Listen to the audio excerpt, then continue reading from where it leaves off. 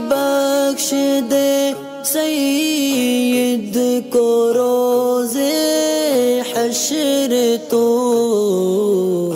बिलाल भाई हैं मालूम ये करना चाहते हैं परफ्यूम जो आता है उसको कपड़ों पर लगाना चाहिए, नहीं लगाना चाहिए, नमाज़ उसमें हो जाएगी, नहीं हो जाएगी। एक मुफ्ती साहब हैं, वो ये कहते हैं कि नहीं होगी, नहीं लगाना चाहिए। दूसरे की चैनल है, मुफ्ती साहब भी हैं, वो कहते हैं कि लगाने में हर्ज नहीं है। तो असल में परफ्यूम के मसले में आपको जैसे मालूम है कि दोनों तरफ़ मुफ्तियान कराम के फतवे हैं कि परफ्यूम के अंदर अव्वलन तो अल्कोहल जो इस्तेमाल होता है। अब बहुत सारे मुफ्तियान कराम कहते हैं, अल्कोहल अल्कोहल होता है। और वो नाजिस और हराम है। और दूसरों की दलील ये होती है कि उसमें जो अल्कोहल होता है, वो नशा लाने वाला अल्कोहल नहीं होता। वो एक केमिकल होता है।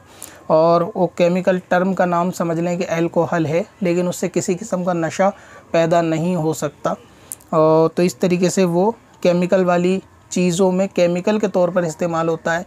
ये वो अल्कोहल नहीं कि जो नशा लाए या आदमी उससे शराब बना सके। तो अगर ये वही अल्कोहल होते हैं तो इसमें जो है ना अल्कोहल होने ना होने के साइंटिफिक नाम के ऊपर या उसकी फ़िगर के ऊपर जो है ना, वो कलाम है। तो सबसे बेहतर ये है कि इसका सब्सटीट्यूट बाज़ार के अंदर मौजूद है, इतर का लगाना सुन्नत भी है। तो जिस मसले में की आपसी बहस हो, उसमें मुस्तहब होता है कि उससे बचा जाए। तो बेहतर ये है कि आप इसमें से परफ्यूम का इस्तेमाल ना ही करें तो इसमें कोई हर्ज वाली बात नहीं है। इतर बाज़ार के अंदर बहुत सारे आते हैं, खुशबूदार होते हैं लॉन्ग लास्टिंग भी होते हैं, और बहुत से ऐसे होते हैं जिनकी खुशबू काफ़ी देर तक चलती है, जल्दी नहीं उड़ती। एक ऑप्शन आपके पास है तो उसको इस्तेमाल किया जाना चाहिए।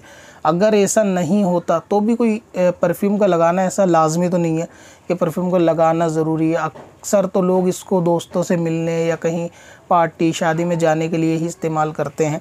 और इतर का इस्तेमाल तो आप नमाज़ से पहले भी कर सकते हैं, जुम्मे में या दूसरे मौक़ों पर भी कर सकते हैं। तो इसलिए इसका ऑप्शन बाज़ार में मौजूद है। परफ्यूम से बचना चाहिए।